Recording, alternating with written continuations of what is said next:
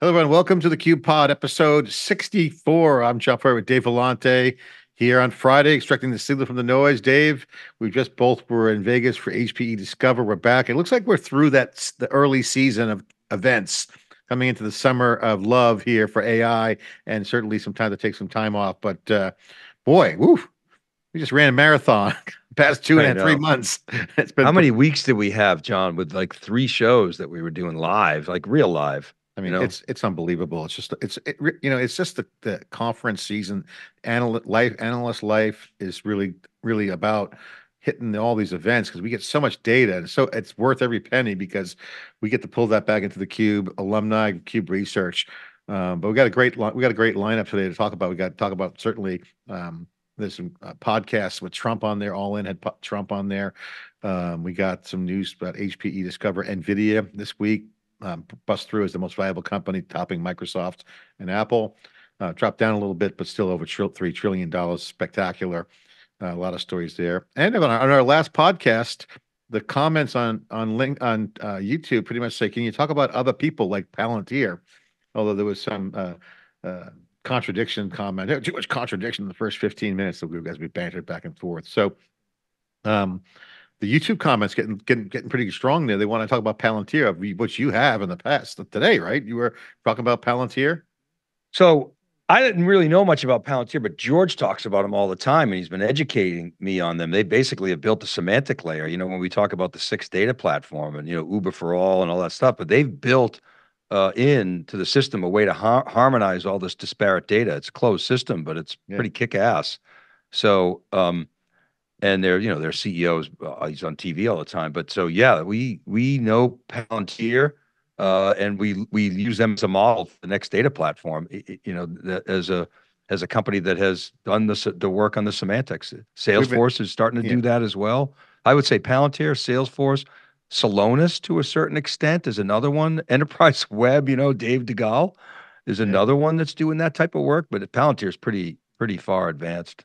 I mean, what's really great about Palantir, we've been following from the beginning when I started SiliconANGLE, even before that. This is a company that was founded by you know Peter Thiel and it really got in from like a whole Stanford brain trust doing high-end government work, big data. Remember the big data craze when yeah. uh, Sqrrl came out of the NSA?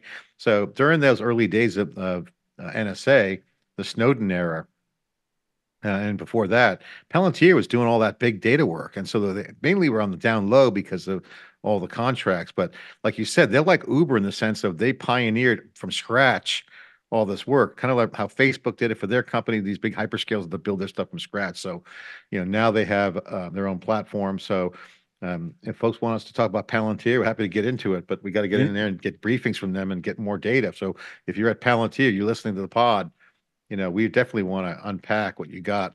And they're still winning contracts. It's a recent news is, oh yeah, you know, still winning big, big big government contracts. Their stock is crazy. The stock like rockets up, then gets crushed, rockets up. You know who I I, I forgot to tell you um, last week.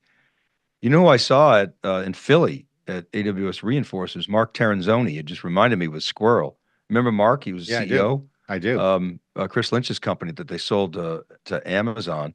And I was like, "What's the story with Sqrrl? You guys use that? You remember the the you know, fine grain, granularity, all that stuff, that's gone. But they basically, I think, created a product. I think it's called Defender. I think Amazon Defender is actually Sqrrl. I don't don't hold me to that. But anyway, there's some product that they they now use. It's pretty. Yeah.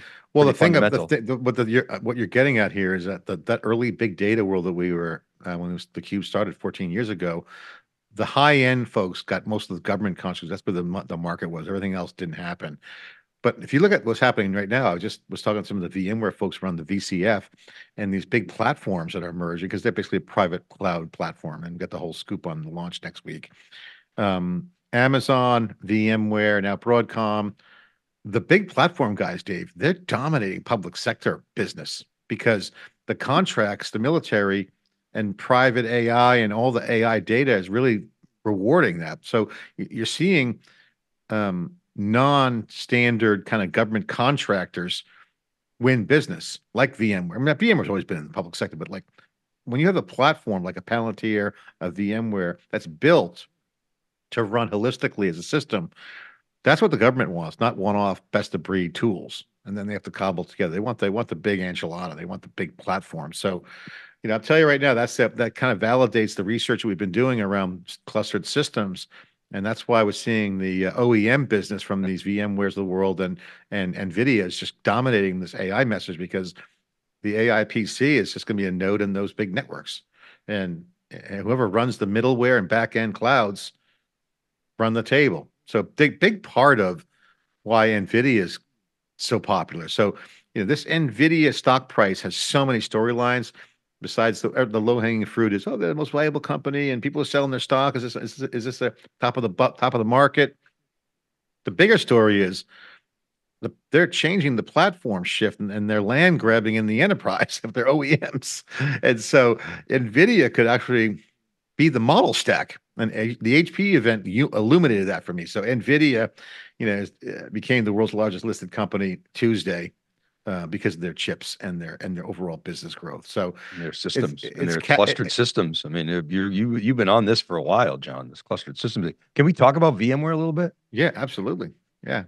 because there was a narrative at HPE, you know, the the back channels at HPE were like, hey, we don't want to like, we don't want to like poke the bear, or Broadcom bear, but you know, we have you know a lot of customers that are that are upset, um, Mhm. and you hear this in the, you know the narrative, a lot of the the classic, you know, the the the VM brown baggers, the V beers, you know, people are pissed, right? But here's what my, here's my narrative on this. Broadcom's doing exactly what they said they were going to do, like back when they bought them and you know announced they were buying them in 2022. Hock Tan laid out the rationale, and they basically said we're going to use the same playbook. We're going to focus the company. We're going to narrow to the top customers. We're going to eh, we're going to invest in R and D. Charlie Kawwas, you know, explained this from the semiconductor standpoint in great detail on the cube at MWC and at the financial analyst meeting. We identify durable businesses with large install bases that we can invest in. We can lead the, the technology. We develop a roadmap. We focus, focus, focus, cut the fat. They said Yeah. exactly they were going to do that. So they're focusing on whatever the top N companies. I forget what N is, John. You would Yeah. maybe know. But basically, if I understand it, you you can add some color here. They did away with the ELA, the, the, the enterprise license agreement is like an all you can eat. They said we're not doing that anymore. So now there's all these stranded licenses that people are going to have to pay for. And they said we're no longer going to sell vSAN and NSX and all this stuff as separate components. We're going to have one SKU. Everything's simplified. They're obviously raising the prices, and they're targeting the top customers in the pyramid. And they're saying everybody else, look, either you stay with us or leave us. We don't really care. We're going after the top customers. We're going to invest. So there's all these crap applications, I call them, that may not need the full suite. Well, fine. So there's some options there. Yeah. So H- HPE was basically saying, we'll help you uh, identify your licenses. It's like you don't want to pay for, for instance, Oracle licenses that are orphaned or Salesforce licenses that are orphaned. It can get really expensive. So we'll help you find those and optimize that. And the second thing we'll help you do is, you know, with the private cloud and the Green Lake, we'll help you, you know, scale up, scale down, burst up, burst down, burn up, burn Yeah. down, whatever. And third thing is for those crap applications, if you don't want to pay VMware, uh, because in Broadcom, because they're charging you too much, fine. We'll help you with, you know, HPE's got their own solution, virtualization solution, open uh, uh, uh, Red Hat, Nutanix, you know, KVM. There's a lot of Nutanix, options. out there. Nutanix earnings took a hit because they overpromised that they have all this business from VMware migrations and they didn't. So if you look, if you squint through the, the, the Nutanix earnings, last earnings call, check that out. But Dave, I agree with you. I mean, first of all, VMware's um, under Broadcom, a couple of observations and, and, and, and things to report. Hock Tan is very much um, a pragmatic person. He said he was going to do it. He's executing on that. However, in talking to insiders at VMware, and I've talked to probably over two dozen different executives and people within the realm of Hock Tan and circles, they say he's he listens because I and and this is validated. I can I can prove this. I have data on this. He was going to kill the events and community. He listened and observed, changed his mind, and his quote was, "I'm the CEO. I'm allowed to change my mind," and and that's actually very not custom and most CEOs are very dogmatic. Oh, I thought I'd die on that hill.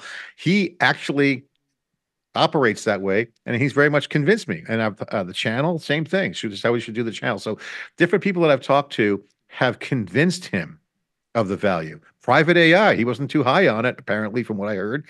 And Chris Wolf talked, had a long chat with him because they had baked that out years ago. Remember, they, they were the first ones to come out with private AI, and everyone's throwing tomatoes. Oh, that's bullshit. No, and it actually was right. Now everyone's talking about AI factories, AI private cloud. Uh, HPE. So private cloud is a winning category. Gartner even Even Apple's that. talking about private AI. So, so you know, Chris Wolf, props to Chris Wolf over at VMware, now Broadcom. He he was the first one to go out on the limb two years ago. He brought it to Raghu. So, you know, you got to give credit. And by the way, it was first time publicly talked about on the Q. I think SuperCloud four. We talked about private A over a year ago. So, the VMware Cloud Foundation VCF they call it is the core product. This is like the anch- big enchilada. It's got everything in there. One license, all the goods are in there and you could take that license in the cloud by the way they got rid of that so you you can move that license into aws if you want to so portability is addressed.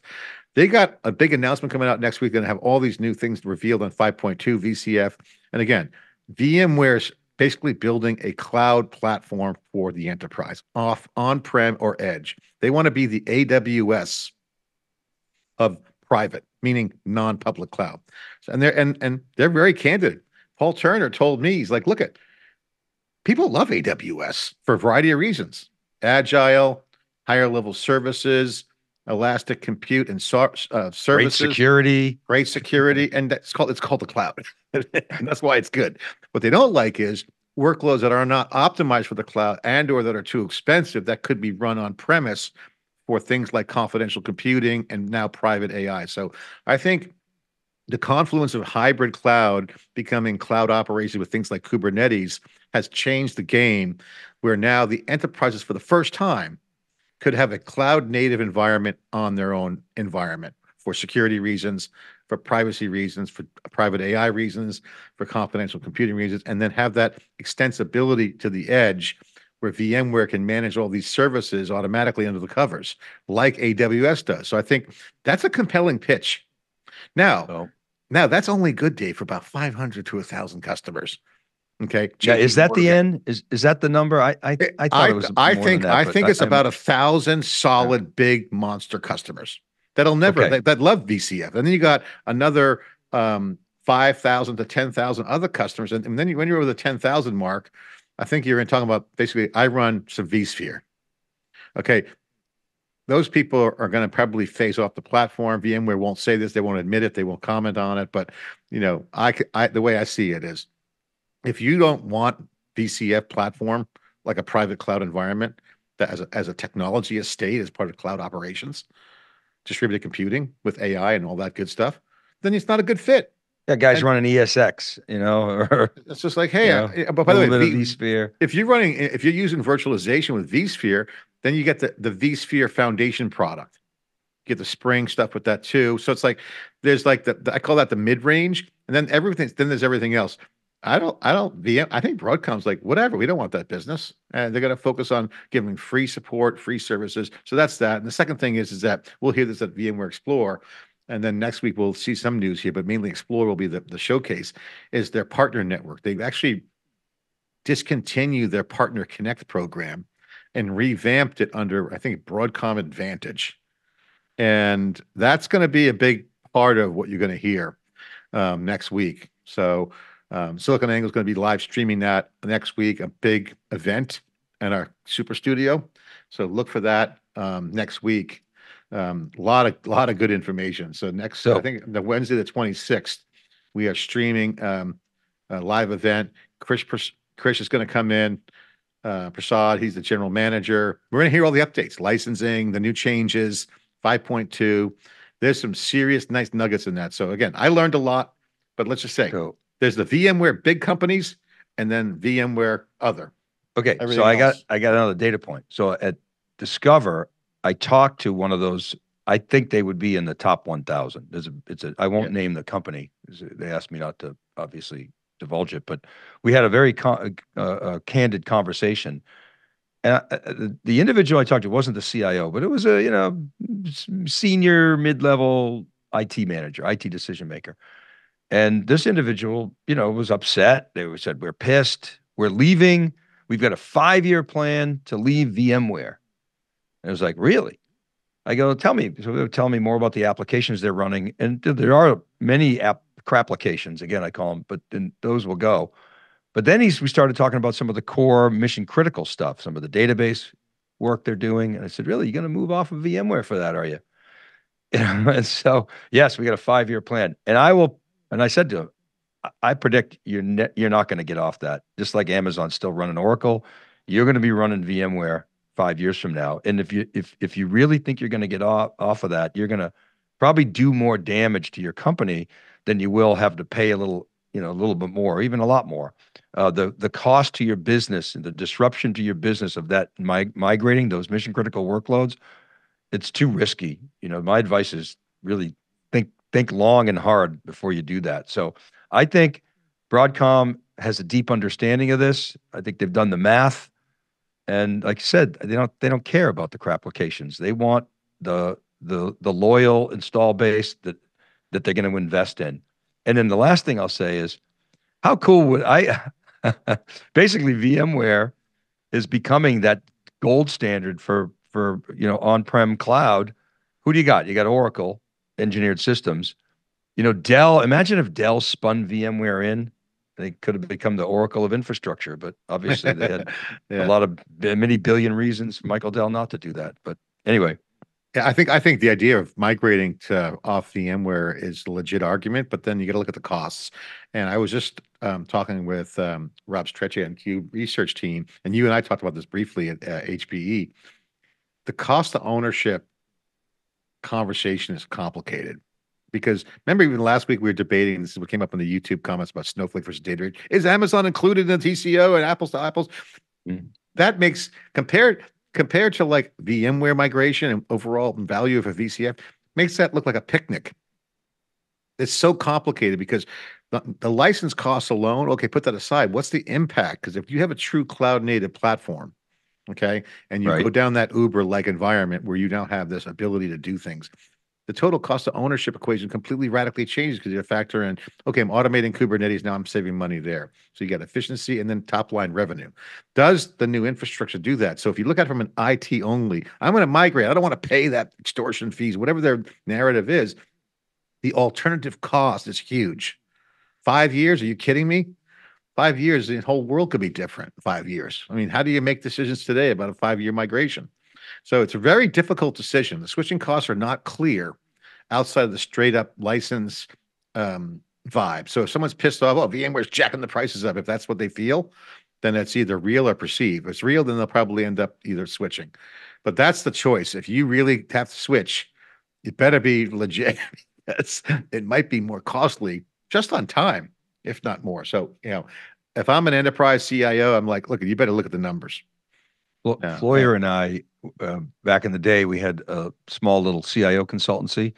I can't tell you how many assessments we did where we were brought in on failed migrations, where they were trying to like do refuel the plane in midair.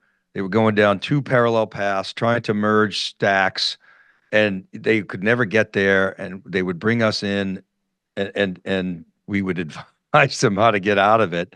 And many many times we would advise them not to do it because the business disruption, especially for the mission critical stuff, you know, the other stuff, the, the fringe stuff, who you know, it doesn't matter. But the core uh, applications, you just mm, too many business processes tied to them.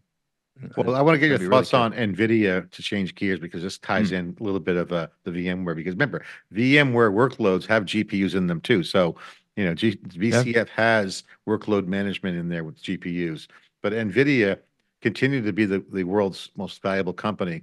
Um, and it's capturing everyone's attention mainstream. I mean, it is it is legitimately c- captured the imagination of mainstream everybody. No one's ever heard of NVIDIA in mainstream before, you know, this this wave. They were just graphics company doing chips. If you were a PC gamer, you knew them. But outside of that, you know, crypto, enterprise, they were just, you know, who are they?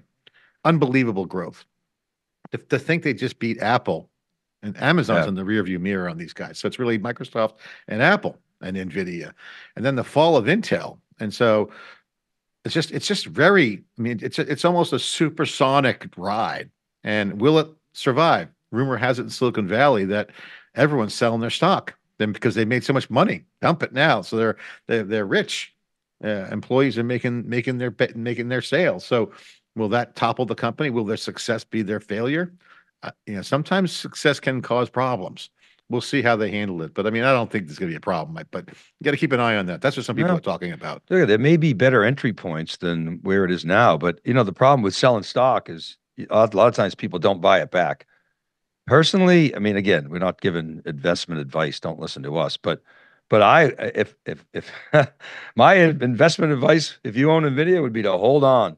Yeah, no doubt I would it. I would not be selling that stock. I mean, Floyer and I did the the analysis on the future of the the silicon business, and we got we actually have Nvidia's growth, and then in from 23 to 28, the five year CAGR accelerating from its la- last five years. I would I would not be a seller of Nvidia. In no way. You know, you and I talked about, I forget which pod, it might have been in our first few podcasts now that we're on episode 64. But we we talked about when the recession was hitting or we felt there was a recession coming. Um, startups were going to fall out of the sky unless they were Gen AI. We were talking about this concept. Remember, we said the this is the first time in history where there's a recovery with hyperscalers. And if you look at the innovation with AI, what's the differentiation for startups? Okay, Rockset just got bought by OpenAI today. You've always said the rich get richer, the big get bigger, and and so is there the, the question is with Nvidia doing the same thing, if they end up owning the model garden, or in this case the NIMS, their NIMS, which is basically the the, the model stack that they want to own, Nvidia gets bigger, so the rich get richer, the big get bigger. Does that create like a working class, you know, white collar, mid range enterprise? It's like uh, you know the fifties. you know, Mm. you know uh, With the thin ties and the mid- glasses? The middle class, the middle class emerged. Um, is there a startup tech middle class? Is it um, is it going to be a, where there, there's a super rich and then just comfortable? I mean, lifestyle businesses, cash flow businesses. I mean, with AI, you, you're going to start to see people pop up now with these businesses that actually might not be super growth IPOs, but could get to 10 to 50 million in business or throw off a couple million dollars in profit for, say, an employee, small business that's got, you know, 30 employees um, doing, you know, 20 million a year. Um, the, the, you asking if it's getting pre- hollowed out? or- but no, the predictions say no, it's going to fill in. It's going to be, it's going to be more um, millionaires and potentially there's more startups that won't make that classic IPO run. So that it'll thin out at the top, get get fat in the middle, meaning like the rise of the middle class in the 50s. You know, so post depression, remember the big rush was the middle class grew and you know people had suburban homes. And remember those days? That's our our parents' generation, at least my parents' generation was that was the case. So I think now with startups, just think about it. What differentiation does someone have with startup right now that the big guys can't do? It's, Yeah. it's, a, it's a question.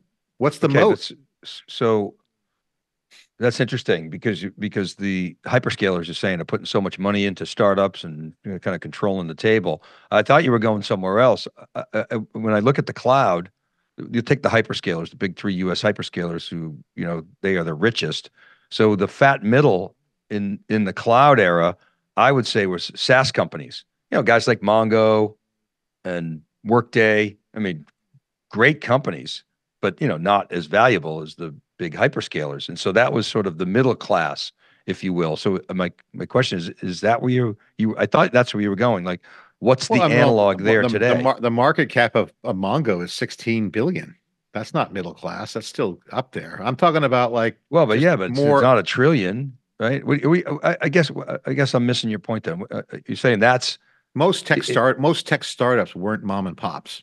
What I'm saying is it's going to be more um, mo- um, mom and pop like companies funded Be- because and and profitable, but not going public. because we- of ai Yeah, because because AI gives them advantage. Remember, if you're Yeah. creativity, it's domain expertise, it's augmentation. You move faster. And you and I talked about this. I think Calacanis was saying about his podcast. Well, yeah, just you do more. You don't have to hire a whole product team. It's not the 10x engineer, it's the 10x company. Mean, meaning you could do more with with less people with AI. And so what what the speculation now is is that that's going to create an opportunity for this middle class startup culture where it's not about going big or going home. It's like just getting in the game and making money and thinking about it from a cash flow perspective. Because AI will allow a creative entrepreneur to seize an opportunity, but the, they'll never be big enough at scale to compete with, with Amazon because Amazon always tuck AI into their piece. Same with Google. So the question is, you know, at what point does the scale, the big scale, foreclose opportunity for a startup? I mean, MongoDB, you think they could launch a database company in these days? I think their stock's taking a hit mainly because of the the AI world changed. I mean, they're down. If you look at look year to date, um, they were their high was 500. It's 227. Well, they just had a shitty quarter, right? Well, and they guided they guided down. Man, Well, it's just- it's well, if you connect the peaks there, it's a straight line down, dude. Like they're it's just if this continues, it's a straight drop off. And and if that if that if that means that the um developer market's shifting and their Atlas platform isn't aligned with, say, generative AI, all they have is vector search, that changes that what would developers do? Remember, neural network, as uh, Jensen was talking about, it's completely different infrastructure. You know, it's it's. Well, I uh, think people people are questioning their SaaS models. They're they're like, wow, we spend all this money on SaaS, Salesforce, you know, Workday. I mean, ServiceNow is the one company that's just they're kind of blowing away everything. And I don't know that's if that's because they're so embedded into and they saved IT's ass. They're like IT heroes. Um, so I don't know. I, I- Yeah. I, I I do think the SaaS business could get disrupted. I I think there's definitely, I think the pricing models will get disrupted. Um, I think there'll be new ways to to to solve productivity problems, and I definitely think organizations are are going to be holding off on some SaaS purchases and saying, "Hey, can we do any of this with AI? What can we cut? What can we eliminate from our software estate?" Because there's been like incredible application portfolio sprawl, and and the CIO's left holding the bag, paying for all the infrastructure to support that, when there's maybe like three people in the company using the app that they built, you know, five, seven, eight years ago, ten years ago, and they haven't, they never retire stuff. So, you know, as IT, GRS, they never get rid of stuff. So, and then every 10 years they go through an, a rationalization exercise. We saw this after Y2K when, remember Y2K it was like an open checkbook during the dot com. Oh, yeah, spend, spend, spend. And then after Y2K, it was like, IT doesn't matter. Cut, cut, cut. and so, and then you saw it, you saw it as well in the financial crisis, but that was more of a cloud migration. And then, and then you saw another rationalization when people started going cloud native. Um, and I think you'll probably see another one now because of because of AI. It's like Michael Dell, I think, said, you know, it's a good good to have a big brainstorm every now and then, cleans off the streets. Well, Nvidia's rocking. They got the land grab going on. HPE, they had a great deal with HP. Um, the continued surge. Let's talk about that. I mean, ev- everybody's glomming on to Nvidia, right? It's like, no, I'm I'm Nvidia's best partner. No, I am. right? You you've ti been timing the uh, the time that Nvidia spends on stages, which is very novel, very smart. Uh, you Uh, were the I- first to do that. it's like a sports car. It's like, hey, how many times are on the track? No, I think I mean one. Antonio and them had a little bit banter back and forth. So it look took more time, uh, but HP invested the time. I thought HPE, Hewlett Packard Enterprise, had a had a significant bet, and Hewlett Packard Enterprise has to up their game. Nvidia's Nvidia's like IQ relative to the marketplace on this next wave is so ahead of everyone else's. Um, they are Broadcom, Nvidia, because they got the chips going, and all the chip folks that are on this edge. I call Broadcom, Nvidia, AMD, uh, others, uh, Groq. They are so far ahead because they understand that the infrastructure is absolutely changing, and they're leading the way. And the OEMs like Dell and HPE and others they're going to have to get online and they are. But you know why? Because it's a refresh cycle coming on plus clients going to have the requirements.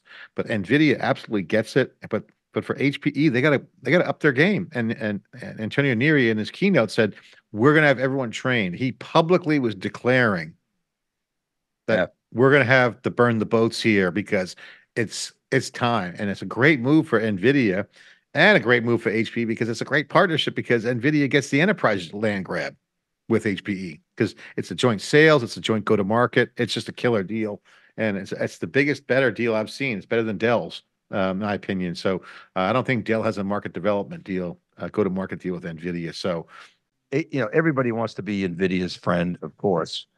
And uh, I think he stayed stayed on a little bit longer because it was the the sphere, John. I mean, that was kind of a cool vibe.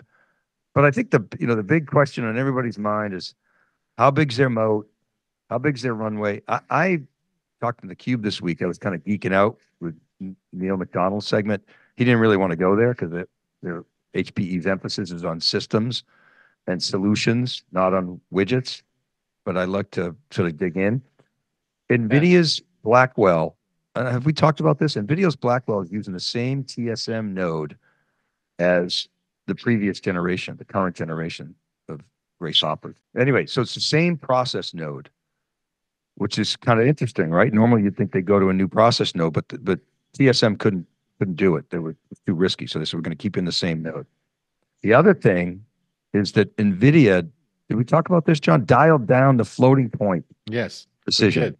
We to did. four instead of eight. And so that saves energy. It gives them more real estate, allows the EDI, EDA guys to do more. The reason I bring this up is because when NVIDIA goes to the new node, that's another big advantage. And Rubin is probably the next node. And so they, they're on this one year cadence and they just keep, keep way ahead of the competition. I mean, it's impressive. I, I just don't see anybody in, in their sights. I don't think AMD, AMD will get 10% of the market.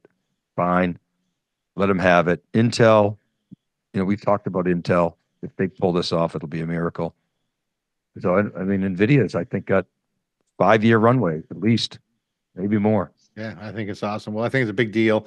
Uh, speaking of other uh, AI, OpenAI acquired Rockset, which is Jerry Chen's company from Greylock. He funded them. Venkat, great entrepreneur over there, young guy. How proud of those guys. Like to see them. Good company. Always like them. And then OpenAI's founder, co-founder, resurfaced with a safe super intelligence. Uh, company's called Super Intelligence. And and when I saw that, the first thing I said was super super cloud, super intelligence, super cool. Um, that's going to be interesting, Dave. It's, uh, they're going to pursue dedicated company to pursuing um, artificial intelligence, um, super intelligence, AGI, and they're going to want to get that fast. So uh, responsibly, he said. So that's going to probably get a boatload of funding.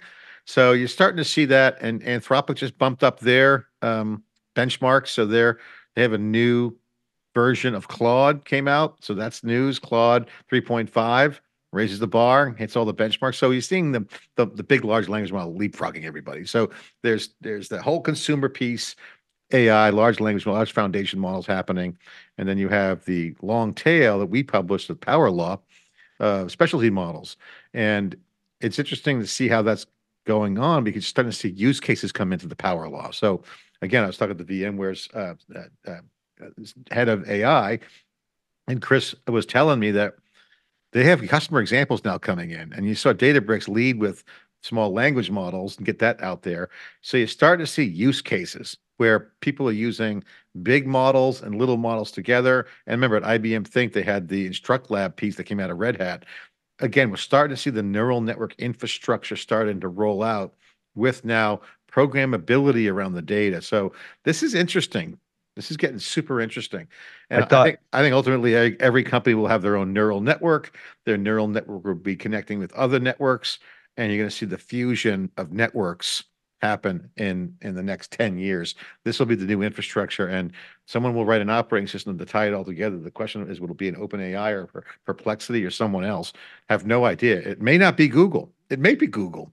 Google eh, a- owns search since 1998, actually 2000. They had a 20 plus year run.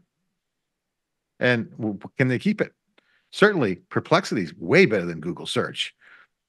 Okay, Perplexity is way better than OpenAI uh, at, at stuff that I've been using it for. OpenAI is better than Perplexity at certain other things, like helping write stuff, but Perplexity as a search engine is very strong. Oh, if you have a question, I agree. But but before we go there, I just wanted to comment on uh, your your comment about um, models and benchmarks. I thought I thought Ali Ghodsi was pretty funny and self-deprecating when he was talking about DBRX, their large language model, and he was showing off benchmarks, and he said, "Yeah, we were we were the top top gun for three days." You know, thanks, Mark Zuckerberg, for announcing Llama 3 same week we did. DBRX, And so that the point being, these Yeah. things leapfrog each other so much. By the way, he's happy to promote that because it's open source. Remember, he's Yeah, of course, Llama three was open source. And again, of course.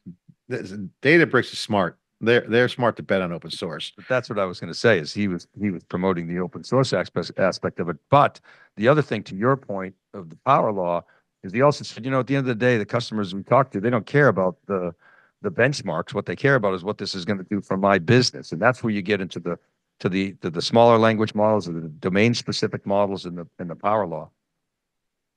Well, Perplexity is getting a lot of bad press. Wired called it a bullshit machine. And other I read that article. They're scraping, they're scraping their site and bypassing robots.txt. Um, so, um, it's pissing them off. Meanwhile, we're like, hey, come on, guys, if you're at perplexity, take our feed. We'll give it to you. We love the product. We think real-time news and analysis is killer. Again, I, like we said last time, we, I don't want to, you know, you know, fall over in love with perplexity again, week after week. But last week we did, when I went into great detail why I liked it. Uh, I like what they're doing. I think the user experience is phenomenal. Um, and I think it reminds me of the Google algorithmic search when it, when Google became the obvious better search engine. So we'll see if they can continue it, but Ver Wired's pissed off because they was getting their content scraped. But there's Yeah, Wired's holding on to the, they're that old school media. I gotta hold on to the business model. I know, it's very sour grapes, uh, that article. Like, We- Yeah, it's. Guess what they did to us? They took Yeah. our content without asking. I mean, I, I, I, I, and there's no real case law on this, right? I mean, it's still kind of fuzzy, but, um, I mean, I, I could see where they're coming from, but, um, The problem I- with Wired, the problem with Wired and people who think like that are realizing that they haven't realized yet that they're already dead. Okay, and that they don't know it yet, and they have to change. Their, they have to adopt. This is going. It's a discovery layer. They should work with the think about how to work with Perplexity and preserve their great business model. Wired's a good publication. I hate to see them fall into irrelevance by getting stuck on a business model too long that we know is outdated and antiquated. So you know, Wired's good. Their articles are good, but you know, to, to throw rocks at Perplexity, what are they trying to do? Shake them down for some cash? All Perplexity has to do is say, "Oh, we'll give you some cash." Facebook did this, suckered the entire media business for a decade. Yeah. Okay, and ended up killing them. And then by the time we should have got more money, at least Apple gives some revenue share back, and but they're still strip mining media. Media is getting fleeced by the big platforms. So you either embrace it or and extend, or fight it and die and get some guilt cash thrown your way. I mean, that's what Facebook did. They threw, you know, guilt money at people. Oh yeah, I will pay you, but they already killed journalism. Facebook killed journalism. That's why, um, you know, a lot of these companies went out of business. I mean, look at look at the BuzzFeed. It's well documented for the folks who Ben Ben, who's the founder of Semafor, um, uh, is uh, tons of experience covering this story. Um, he covers media really well, and he nailed it. BuzzFeed just they got suckered, and then they zigged, and they should have zagged. They went all in on video. Axios, it's another one. Axios is in format's beautiful. It's short. It's real. It's uh, it's short. It's descriptive. But guess what? AI could do that, right? So you know, Axios could be replicated. So I'd be nervous too. Forbes general counsel sent a letter to Perplexity demanding they remove misleading articles and re- repay Forbes for advertising revenue earned from its alleged copyright infringement. This is Forbes that has a this is who makes their money on contributor posts, paid posts, and has a paywall. So, you know, I, I hate to say it, but mm, I won't say it. You know what I was going to say. Well, yeah, you do. yeah. Oh. And what did George Gilbert say? He, he wanted to eat his hat. I, I, I don't think I'll eat my hat by saying that the um, traditional media is uh, digital media is going to pretty much die. So if they don't adjust to the distribution of neural networks, uh, and and and that's changing. And I don't think they even can understand what that means. To be honest with you, Dave, it's just like, Well, they got a business. They're hanging on to it. They're trying to protect the past from the future. You can't really blame them, but run run their events. You know, you get your events, your paid content, and you know, but people are going to discover information differently. You know, AI is going to automate discovery. Friends will, you know, referral traffic will probably move from search away from to other mechanisms. So we'll see. I mean, again, we're we're we have nothing to lose. We are on the right side of this one in my mind. We got great great distribution through the AI systems, and SiliconANGLE gets a ton of great referrals because of the quality of the content. I've been seeing some really great numbers lately on the site. On SiliconANGLE? Yeah. It's awesome. yeah, Incredible. What are we Well, if you go to, if you go to Perplexity, it's picking up all of our posts for the event. What are you we know, tracking now? Can you say? Um, Are we at a million a month yet? we're over a million a month. I think this month so far, we're like eight fifty, eight hundred fifty thousand Okay, so. Almost a million. That's good. Yeah, I mean, look, but yeah, but we're not in any of the big engines. That's just direct traffic. So all good. Else I, is going? I just, I just got Fitzy's newsletter this week. It's, he's great. It's so good. What's he got going on there? He just hammers Apple, um, hammers OpenAI, um, he, he, he hammers IBM. IBM, he says IBM. He's so brutal. He's IBM's not a technology company. McDonald's edition. I guess the, there was some failed McDonald's thing, drive-through thing. Yeah, Because you know IBM's doing these really hard, solving these really hard problems, so they don't always work when it I- comes out. yeah, he Or takes a lot of, it's easy to take cheap shots at IBM. That's from what he his does. standpoint But his best, his, his best cheap shot, CapEx. his best cheap shot is Oracle invents non-GAAP capex. So he's, it's like Oracle's at an all-time high, and and uh, you know they're not Microsoft, but uh, they're a pretty good company. But his stuff is funny. It's just also tongue-in-cheek. Um, He, he's, you can tell where his biases are. He actually, um. well, because he used to work at Microsoft, He's a right? complete So- Microsoft, big, big, big time. totally. Um, Totally. Very clear. All right, Dave, the other news is, is that, um, you know, we saw, and I don't know if you caught this, but Antonio Neary brought this up. A UK antitrust watchdog opened up a probe against HPE um, in the UK for its Juniper acquisition. Um, and you, and he brought that up in our interview. Antonio Neary is the CEO of HPE. Um, that was interesting. You think that's gonna fly? I don't, I don't see any problems with Juniper and I don't see any problems with Juniper and, uh, and. HPE. you would think that it's a no-brainer. I mean, the, they're, Cisco's the dominant player, has more than half of the market. Why wouldn't you, you know, allow that? But you never know these days. It's like the EU comp, uh, the, the uh, UK competition committee oftentimes is a, is a surrogate for Lina Khan's dirty work, as you know. They never, there's no acquisition that they seem to like. They want to just kill every, all M and A. Uh, they want to kill crypto, right? There's no IPO market. There's there's no M and A. You know, they're trying to kill alternative digital currencies. It's like so regressive. I just don't get it. Well, a lot of good action going on in the industry. So we got the um, Super Cloud coming up. We got the summer times here. Um, VMware Explorer events coming up. That's going to be the next big one. We got a bunch of other events. I'll be in, uh, uh, looks like New York for New York City, which for AWS event, um, New York Summit. Look for that one. And uh, just in general, Dave, just going to be a lot of in studio, super studio action this this summer. And I and I got to say, you're seeing a lot more of the companies transforming their business with sales enablement into vi- from video. So, you know, we're Yeah. seeing a lot more content coming in. Um, the Cube AI is getting more neural networking. It's getting more more stronger on the results. Check out the cubeai.com. The cubeai.com is where our neural network exists. That's our retrieval RAG system, retrieval augmentation generation. We've been doing for over, over a year now. Uh, all of our content at SiliconANGLE Media and the Cube Research is now uh, in neural network form. It can be queried and searched, and you're going to make a lot more personalization. Check it out. We have that neural network building building out and adding more every day. So um, if you're interested, ping me or Dave. Happy to tell more about that. Um, and Somebody in was general, me the other day that RAG is dead. I think Sanjeev Mohan is going to write the piece that RAG is dead.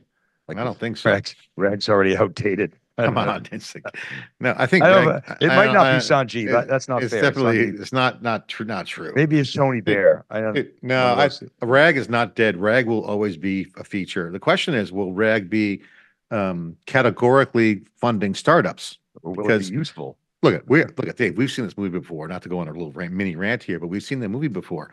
The internet was classic. Everything to me, that's best the best analogy so far is the internet and web. There was so many early companies that were features, not companies, and that's what's happening now. RAG is a feature of the system, not Yep. a company. Yeah, there's some LangChain orchestration stuff going on, vector databases, but ultimately, a neural network's math, a series of content ported into math, either language or images into into math numbers. And the vectors allow you to get massive search aperture and great, great results through the matching of the, of the math, mathematical formulas. That's the benefit of the neural network. So what that means is you can have neural pathways or content pathways, retrieval pathways. So I think RAG only accelerates, if not Well, I think, yeah, I, triples. I, I think RAG will get, yeah, RAG will get more It- intelligent, it- more multi, multimodal. Multimodal, prompt engineering will be built in via one query. It'll have some intelligence around reasoning prompts. They'll probably get, will it get agentic? Will it be able to take action? I mean, I think I people, think I think, I think it's when you have reinforced learning, right now, it's like, it's training and inference. I think what Jensen talked about at GTC that got, didn't get, it got overlooked a lot, but he, he definitely said it, certainly in our one-on-ones, he, we, with us, he did. Reinforced learning will be a really big part of this. The reasoning Yeah. and the intelligence comes from that piece. So right now, all the, the market's on training and then moving quickly to inference. Inference will be certainly great, but reinforced learning will allow things to get smarter. So for example, today you go at a query like Perplexity and ChatGPT, you type a prompt. You might not have to do that anymore. ChatGPT already has learning mode where you can keep that thread alive and it kind of keeps memory. So that notion of memory, you're in the same thread. Perplexity is doing the same thing. Ask a follow-up question. It's getting smarter. That's where the action will be. That will that will kill the RAG front end, but ultimately make that programmable. So again, I'm a big believer that's only going to get bigger. Je- uh, and Jensen seems very sanguine about inferencing, and everybody says, "Oh, NVIDIA's going to get smoked on inferencing. They're too big. You don't need that big of GPUs." And when you when you listen to Jensen, he's like, "Oh no, the real opportunity in, in inferencing, and forty percent of our data center revenue are inferencing." So I think he's got real designs and plans on dominating that market too. We'll see. I mean, I know I guys think, like I Groq think, have yeah, super I, low I agree. I, I think you're right, Dave. Uh, inferencing is standard. That's He's never so going to far ahead of everybody's thinking, and he's doing so much. They're so advanced in their research and development and their roadmaps. I mean, they they've got. I think they've got plans there. So we'll see. I mean, and they're But- way ahead on ARM. They've been on ARM for a long, long time. So Guys, check out our business business uh, conversations with VCF next week. Dave, it's summertime. You're in a red eye. I don't know how you do it. Pulled a red eye. You got the plug in your ear up right now for the fire alarm, which you we can't, can't you can't believe how loud it is Okay. here. I can't believe you guys can't hear it. My I can't take my finger out of my ear. I'll go deaf. I gotta- pull the fire alarm. We'll let you go. We'll end it go. here. We're about All an right. hour. Episode 64. Go to siliconangle.com, thecube.net, thecubeai.com, thecuberesearch.com. We got it all there, bringing all those insights in there. We got the neural network up and running. We're going to keep adding to the content. Let us know in the comments what you want to hear about. We, talked about Palantir today based on the comments. So we'll, we'll look at those and uh, give us a shout out. All right. Thanks for listening, Dave. See you next time. See you guys.